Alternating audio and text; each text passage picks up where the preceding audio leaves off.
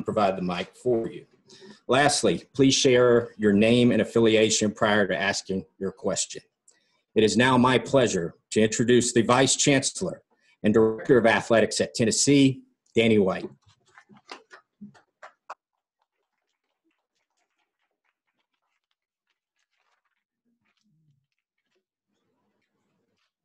Thanks, Bill. Appreciate you guys being here today.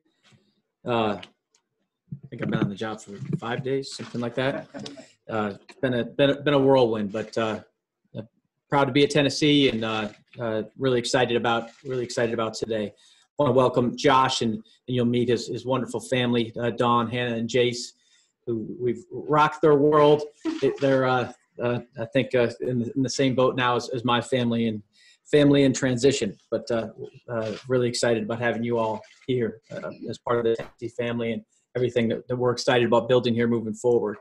Uh, I want to thank uh, President Randy Boyd and uh, Chancellor Donde Plowman for their support throughout this search and uh, for, for the last week, and uh, couldn't be more excited uh, about the opportunity for me personally to be here in the future of what what we have going for Tennessee athletics and across this this entire institution. our, our football student athletes were phenomenal. They, they were really, really great. We have a special uh, want to thank the leadership committee I met with uh, this past weekend. Uh, the insight they gave me and what's happening in our football program was absolutely instrumental in helping me uh, identify the right leader that, that we have here in, in Josh Heupel. Uh, of, of, our football program moving forward. Had a great meeting with the team this morning, uh, and I can tell you they're excited. they're ready to get to work, and, and they're really excited. We had an exhaustive, exhaustive nationwide search uh, I know that sounds crazy because I'm hiring the guy that I've worked with for the last three years. Uh, but uh, if anything, I was trying not to hire the, the head coach from UCF. Uh, and I, I say that with respect to Tennessee, but I love UCF and I hate that the transition this is causing for, for those student athletes down there. Um, that's that's the hard part uh, of, of college athletics. And uh, but after going through extensive candidates, we we left no stone unturned. I, would like to thank the candidates. Uh, you'd be amazed if I could ever tell you, and I won't, how many candidates we spoke with, uh, and there were no leaks um, until last night. Uh, only two leaks I've been a part of in my career as an AD, and both of them happened in the last week. So we need, we need to work on that here. Uh, uh, we got to figure that one out. Uh, that'll be one of my top priorities as we as we go through here. But I really wanted the student athletes to find out first from me, and, and certainly I, I, I, would I would want that for any group of student athletes. But obviously, the student athletes at UCF that that. Uh, it's a shame that it leaked, but we'll, we'll continue to work on that, tighten, tighten some things up. But we left no stone unturned. We talked to head coaches, we talked to coordinators, we talked to long seasoned coaches, uh, talked to young up and coming coaches. Uh, character and integrity were extremely important from the jump. Told you guys that last week, uh, and will continue to be. I have zero questions about that with this guy. Uh, we want to build a program that we can all that we can all be proud of. And after reading every single option we had, uh, it, I, I obviously landed with a familiar face uh, in Josh Heupel. Um, he was our number one option. This job was offered to one person. I know that there's a lot of rhetoric out there uh, uh, that uh, to the contrary, and that's just not true. Uh, we made one job offer. We got our number one candidate. I couldn't be more proud uh, to to have uh, Josh as our, our, new head head football coach. Josh is in it for the right reasons. He's student athlete centered. That was his message to the team. this morning, we we filmed a video, so he was able to talk to his team at UCF in person, and we showed a video that he, he did for our, our team here at Tennessee. Uh, he cares about the kids. I've seen that for three years. Cares deeply about their their development as students, as people, as athletes. They need to know that. Uh, future recruits need to know that. That's what we're going to be about here at, at Tennessee in all of our sports. Uh, from a fan perspective and a, a, a AD's perspective, it's a pretty fun brand of football. It's one of the, be- the most innovative minds in, in all of college football. I'll talk about some of the statistics uh, that they've accomplished. They've they've slash weave. I'm kind of in the they we still transition uh, in terms of UCF and what's what's happened uh, on the offensive side of the ball. Uh, also, uh, one of, if not the best, developer of, of young quarterbacks in college football. Uh, his reputation speaks for itself and what he's been able to accomplish uh, as, a, as an offensive coach and, and, a, and a developer of, of, of quarterbacks. We want to build the foundation of a program, as I mentioned last week, in all of our sports, but we're talking about football here today, and we want to compete for Southeastern Conference and for national championships. I, I told our student athletes I wouldn't uh, share publicly uh, much of what they shared with me uh, about what was happening in our program for a lot of reasons. We had a great confidential conversation, but I, I think they'll be okay with me sharing with you that uh, some characteristics they're looking for uh, in a head coach. They talked about uh, a little bit of confidence, a little bit of juice, and a little bit of swagger. And uh, that's something that uh, we, we have in spades, and they'll, they'll continue to have at, at UCF and their football program. And that's something that, that you'll see in Josh Heupel, the staff he'll build here, excuse me, the staff that he'll build here, and, and how we carry ourselves as, as a football program uh, kids are excited. It's going to be fun. It's going to be exciting. I think you guys are going to like the brand of football you see. Uh, just some highlights that uh, you could probably read, but I'll, I'll, just touch on a couple highlights. At, at, UCF for the last three years is the only team in the country, only team in the country to rank them, up, rank them up among the top five in total offense for every single year the last three seasons. It's the only team in the country to average at least 522 yards of total offense in each of the last three seasons. UCF and Alabama are the only two teams to rank among the top eight in the country in passing each of the last two seasons. Along with Alabama and USC, the only three teams in the country to average at least 316 passing yards in the last two seasons. They join Alabama, Clemson, and Oklahoma as the only as the only four teams in the country to rank among the top eight in, in scoring in the last three seasons. And finally, they join Alabama and Clemson as the only teams in the country to average at least 42 points per game in each of the last three seasons. It's pretty good company to be uh, uh, included with from an offensive standpoint. Uh, obviously, there's a lot more to the game than offense. Uh, Josh knows that. Uh, he's going to build a big time staff. We're excited about supporting him.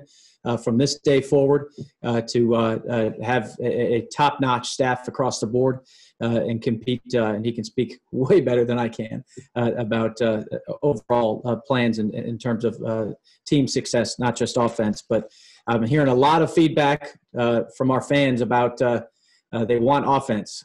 I don't know how we could deliver offense more than we just did. Uh, uh, we're, we're going to move the ball and score some points around here, and I couldn't be more excited about it.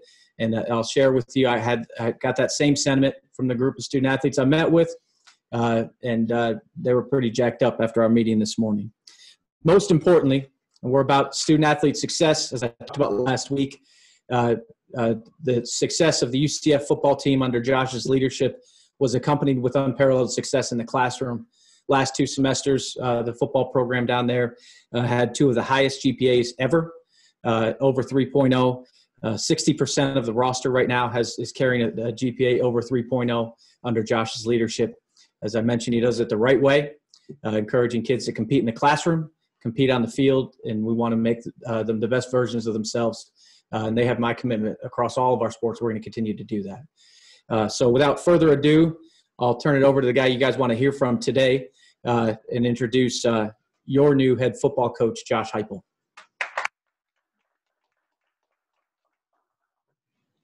The 27th in the history of Tennessee football. They got the name on there too. We got it right.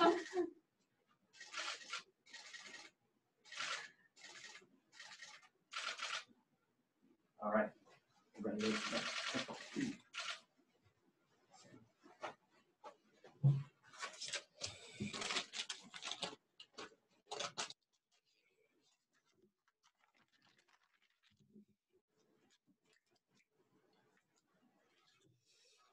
Uh, what an awesome day for uh, for myself and and our, and our family, and uh, so appreciative of the uh, the warm welcome that we've received, and and uh, just excited to be a part of the Vol Nation, Vol family.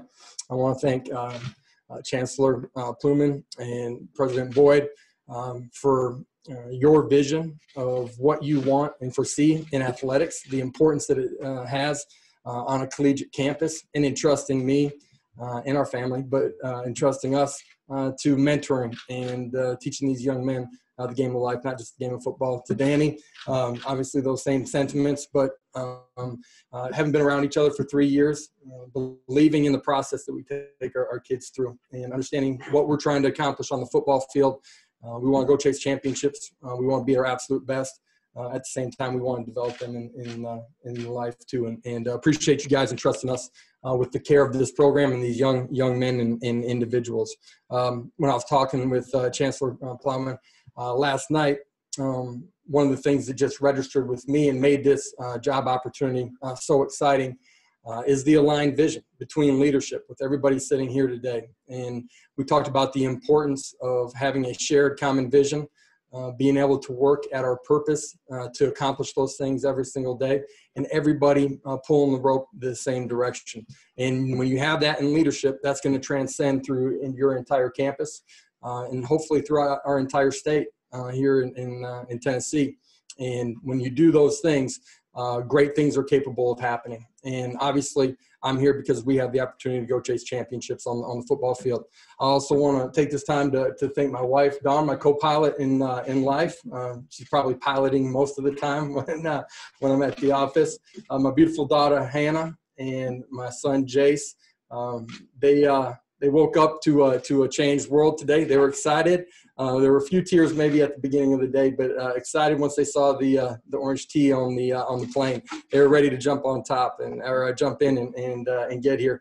Jace is excited. I was texting with with Peyton Manning earlier, and uh, he's waiting on uh, uh, counting down the days until he's able to catch a, a ball from him out on the uh, on the game field. That uh, that was his first first ask as we uh, we got on the plane. So I want to thank the the players and the, the staff at at UCF. Um, last three years have been a tremendous journey, tremendous ride.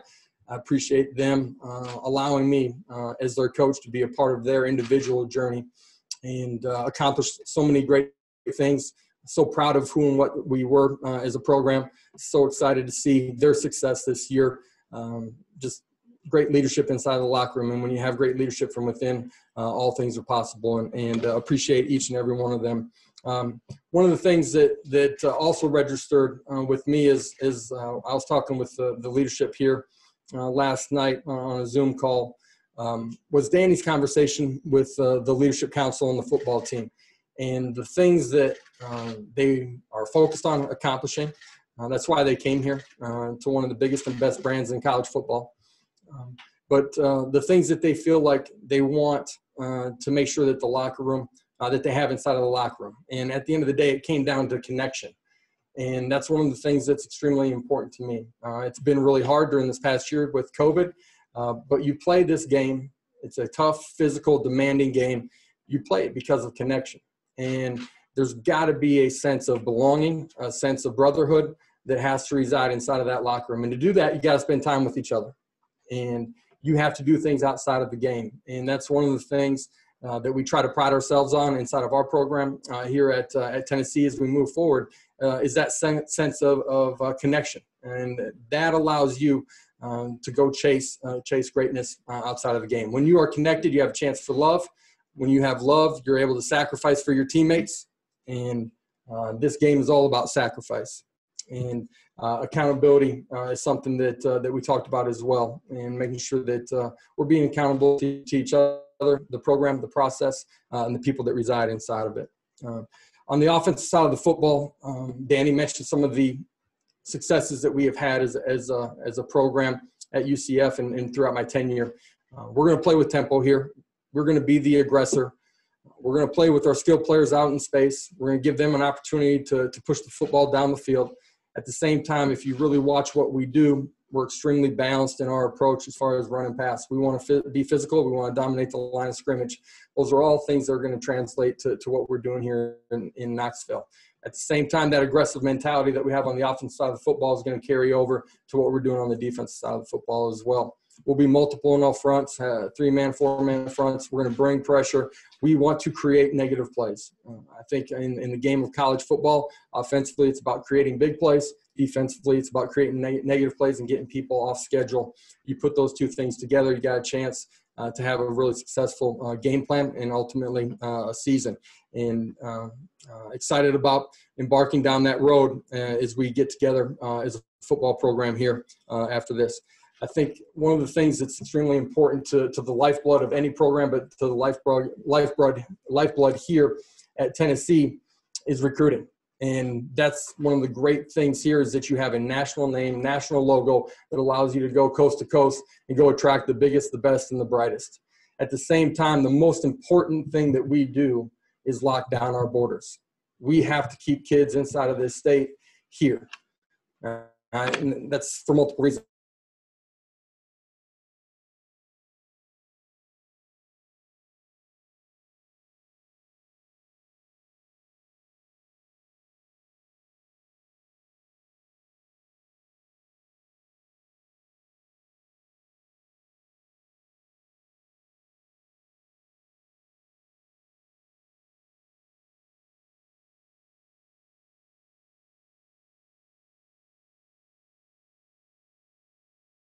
And sustain a positive movement through everything that we're doing to create the sustainable change that we need to lock down the borders here uh, with our, with our recruits.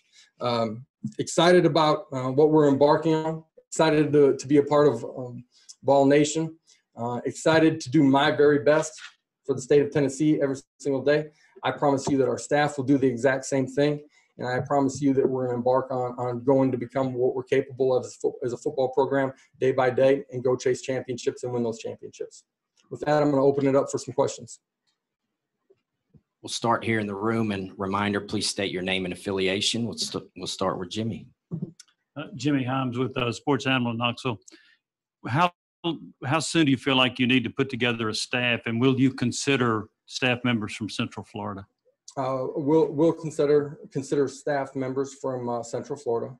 I will we'll do that. Uh, also, uh, current members on this staff. We'll have a conversation uh, with them here, uh, the members here at Tennessee. it's important that we put together a staff at the right time, that we get the right people, more than it is simply about the urgency of putting that staff together. But yes, we want to do it in a, in a timely fashion. Go to David here in the front. Uh, David Ubben with the Athletic. When you sort of look at this roster right now, what is your message to guys that are you know considering going in the portal and, and guys that are already in there? And, and of course, could you could you envision a scenario bringing players from UCF here? Uh, will not recruit players uh, off of a, a, roster that I was uh, a part of. Um, don't believe that's the, the right thing to do. Um, to the current members of this football program, in this roster. we need to be a family. We need to act like a family. And everybody's got a different perspective based on their background of what a family is at times. When you sit in front of your your team and there's 105 guys, you know, in front of you, everybody's got a little bit different perspective. But at the end of the day, a family to me is defined when push comes to shove, that family stays together. Let's stay a family. Let's let's trust the people that are in place to help you become what you're capable of. You chose this university for the right reasons, and I'm saying has a chance to be an elite football program. The tradition says that it should be. It's our job to get it back to that level. You're going to get an elite education and be in one of the best communities uh, in college football. You walk out inside of that that, that stadium.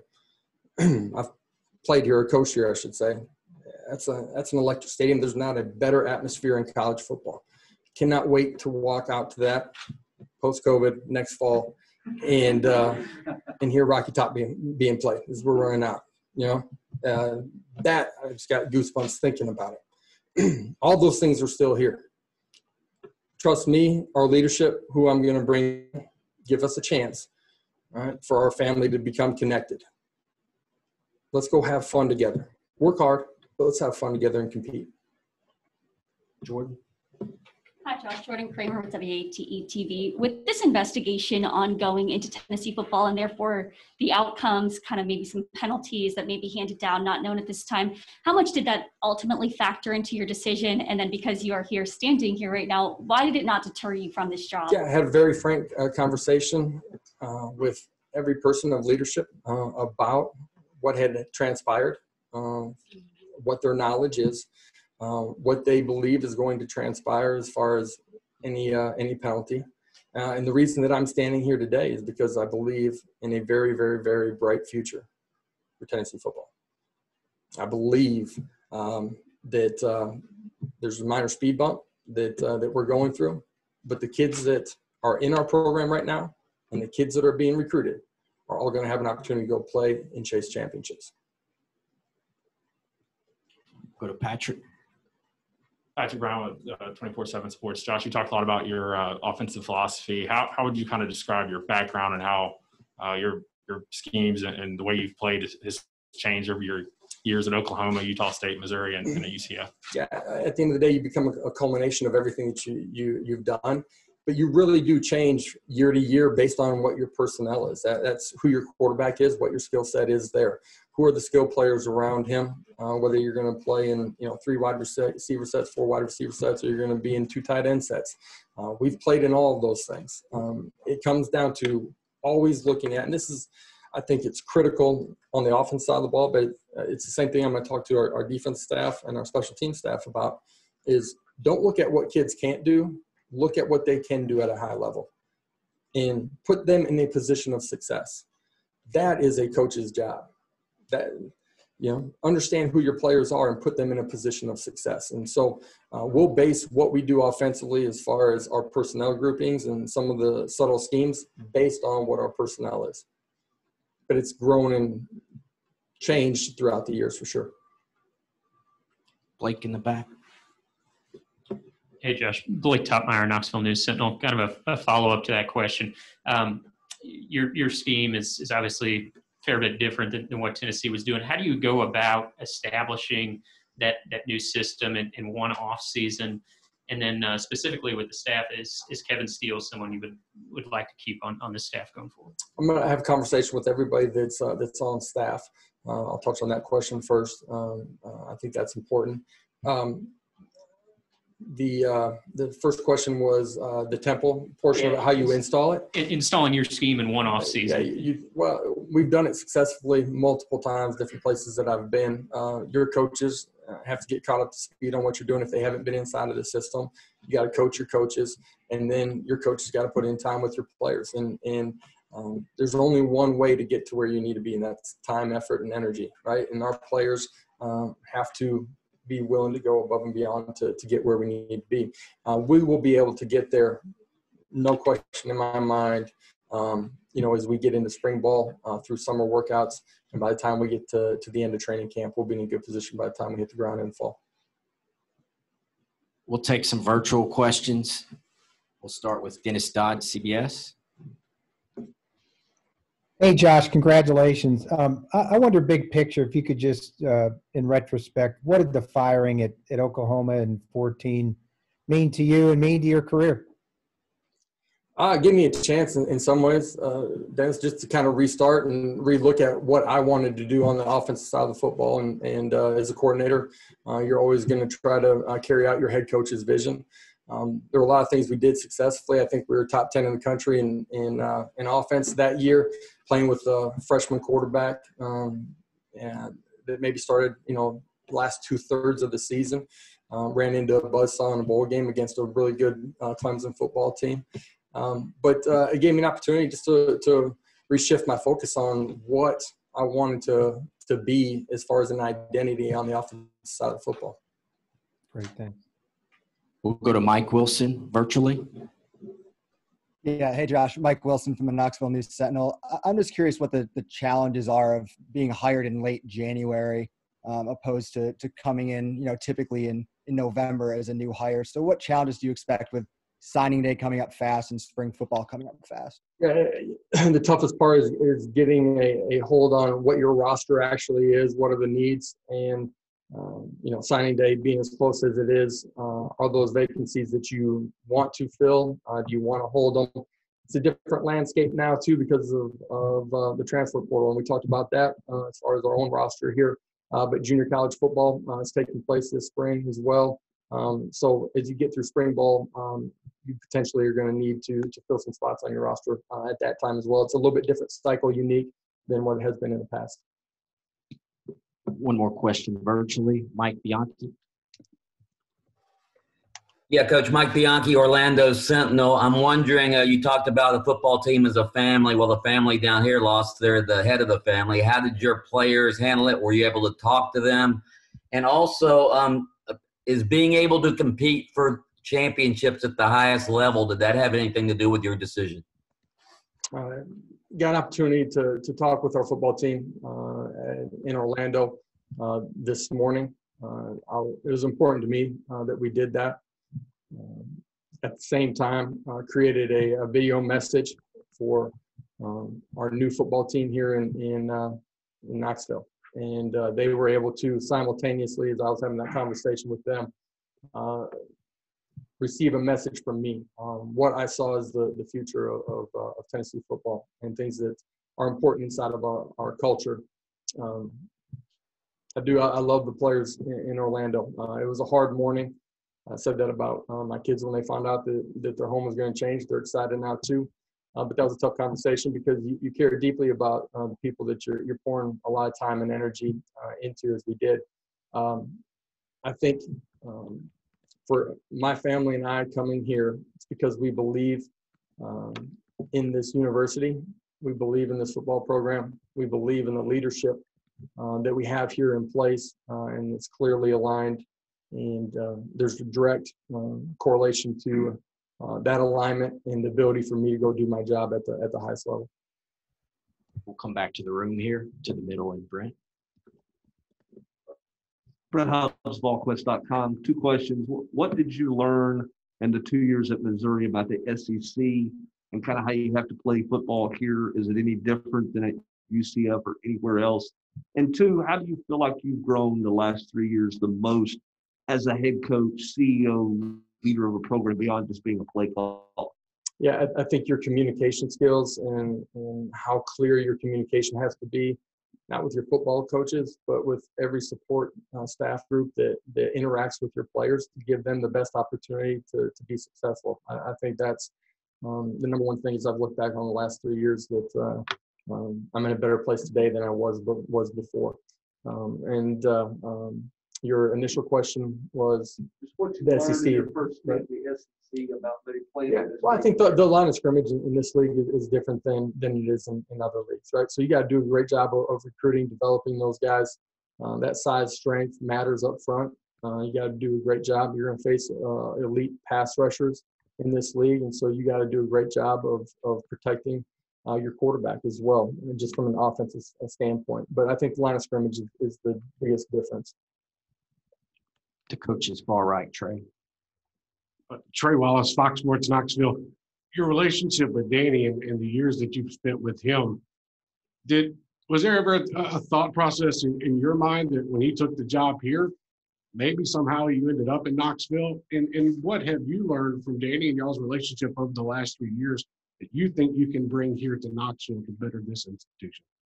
Yeah, uh, when uh, Danny got the job, was disappointed that uh, he wasn't going to be there anymore. Uh, we had a conversation after it went public and uh, wished him well, and, and that was really the end of that that conversation. Didn't think about uh, this opportunity uh, in that way. I, think as a football coach, you're, you're, typically just living in the environment that you're in. You're so encapsulated in that. Uh, that that's your sole focus. That you don't think outside of those things. I think for Danny and I, there, there's for me, and I don't want to speak for him, but there's there's great comfort in, in coming here and knowing exactly what you're getting out of the leader that you deal with the, the most. There's a clear vision of what he wants for the student athlete experience, which is extremely important, and a clear vision of what he wants as an athletic department as a whole. And uh, there's a lot of entities inside of our, our, our, program here that are doing extremely well. You look at our basketball programs. Uh, it's my job to make sure that we're getting this uh, built to, to the to the level where we can go chase championships every year too. Up front here to Rick. Trey kind of asked the same question I was going to ask, but first of all, welcome to town and to Thank you, you and your family. And uh, uh, Rick Russo, by the way, WVLT News. But yeah, is there a sense of comfortability for you knowing that Danny is here and and the, the, the big vision for you for UT football, sustained success? Talk about that and how important that is to you. Yeah, we had a, conversation. Um, what are we looking for, and how are we trying to to, to build this? And um, it's a it's a long term vision, right? I believe that we can have uh, immediate success as well. We got really good players inside of that locker room. You know, I've, I've watched a little bit of tape, uh, or I've seen them in recruiting. There's good players in there. Uh, it's our job as a coaching staff to get them ready to, to go play their absolute best and go compete every Saturday. Um, you know, so uh, but at the same time, there's a long-term vision of, of what we're trying to build here uh, for sustainable success and um, uh, a clear vision of, of, how we're trying to do that. One more question in the room here, and then we'll go back virtually. David. Hey, Coach David Shealy with WBIR. Danny talked about how you're a great developer of young quarterbacks. What qualities does a quarterback need to have to be successful in your system? We've had different guys play uh, with a different skill set. Um, we've had uh, I mean, just going back through my tenure, we, we've had guys that were pure pocket guys, um, to uh, guys that uh, have been able to use their feet uh, in the run game, in design runs, uh, or reading pressures off the edge, um, use their feet as, as a weapon in, in scrambles. Uh, and we've had guys that have fallen somewhere in between. Uh, we've had, you know, six three guys, and we've had you know, five ten um, the last couple years at, at UCF. Um, it's about the makeup and the guy inside as much as it is anything. You know, how, how competitive are they? Are they? You know, I think that's extremely important. It drives them every day. Um, what is their ability to react and respond uh, to adverse situations? Uh, can they wipe the slate clean from the previous play? Uh, can they handle all the noise and all the pressure uh, that's going on around them, not just on game day, but in everyday life as they walk through campus? Uh, can they meet uh, uh, the expectations and the work habits that you have to have? So uh, all of those little things add up to to a guy playing at a, a championship level at that that position. And if you're going to chase championships, you better have a championship quarterback. Back to the screen in the back, David Paschall. Josh, congratulations, David Paschall down here at Chattanooga Times Free Press. For those of us that obviously didn't follow you every day at UCF, you look at that 28 and 8 record. I know you were 22 and 4 those first two years and six and four this past year. There were obviously external factors that everybody had to deal with in college football, but why did this last team not quite have that resounding success that your first two teams did? Yeah, uh, all of our games except for one loss were uh, one possession games, uh, really tight ball games. Um, this past year, and everybody in America was dealing with it. COVID was a, a unique uh, situation unto itself, and how you brought your football team back? Uh, what were their workouts while they were away from you? When did you actually get your entire team back? What did your practice habits look like? Um, you know, for us, we didn't meet until uh, the fourth game of the season, I think, as far as being in a full team meeting uh, that wasn't virtual. Um, we lost some close ones, um, and uh, I think you look at the beginning of the season. I think we had close to ten opt-outs, uh, and all those came because of different reasons and different challenges that they faced uh, in their backgrounds. You know, some of them might be uh, a parent that uh, was uh, was ill. Some of them had young children. Uh, just different backgrounds. And and uh, as the season wore, wore, on, I thought we got thinner as a football team and and lost a couple close ones to some good football teams. Two more questions for Coach. We'll go to Austin Price. Coach Austin Price, VolQuest.com every coach that's sit up here the last 12 years or so, every time they've had a coaching change, has talked about closing the borders. How important is it more so just to make sure Tennessee is a focus more so? Because I mean, kids are going to leave the state. That it's impossible to sign up 25 kids from one state. So how important is it just to more make this a focus than it is necessarily close the borders? And then two, how much will you reach out as, a, as an alum of Oklahoma? How much will you reach out to the alums in Tennessee, the former football players that may you may know through crossing paths with over the years, to make sure they feel like, hey, you guys have always are welcome here. The door is always open to come to practice, to come do all those type things. Uh, if you play football here, uh, you're welcome back here. I don't care if that's spring practice. I don't care if it's observing a, a workout. I, want you guys around. Uh, I want them around our football program. It's important to me. I hope uh, you know, when we get back to having spring games, uh, I'm assuming that there's a an event that surrounds that weekend, um, you know, for for former players that uh, a golfing outing, um, you know, coming to the game. Um, I want guys here, uh, guys that are currently playing. Uh, hopefully, they come back and they're working out here during the off season. Uh, those are all things that I think are important. Uh, they give back to to the players that are here, you know, and so hopefully that does happen. Will I reach out to them? Absolutely. Um, uh, your first question was uh, the recruiting question, right? On, Just on, making it a focus, not necessarily closing the borders, Yeah. but making it Tennessee the big focus. yeah, I didn't know that everyone had sat up here and said close the borders, but I, I, I do believe like I, I'd like to close the borders, right? And not let any of them out. Uh, is it going to be a focus? It absolutely will be a focus for us. For us, Uh, that's the challenge for for myself, for our coaching staff, uh, to make contact with those guys and, and make sure they understand uh, the importance uh, that they have inside of our program and the opportunity that they have inside of our program too. And, and you know, is day, today being day one for for me, right? Um, you know, giving them a clear vision of what we anticipate this looking like uh, when you're here. One more question for Coach Wes Rucker. Hey, Josh, I know that, um, you know, the Tennessee program historically, I think maybe one of the 10 or so winningest programs in, in major college history, uh, but hadn't for maybe 12, 13 years now, hadn't been a consistent winner.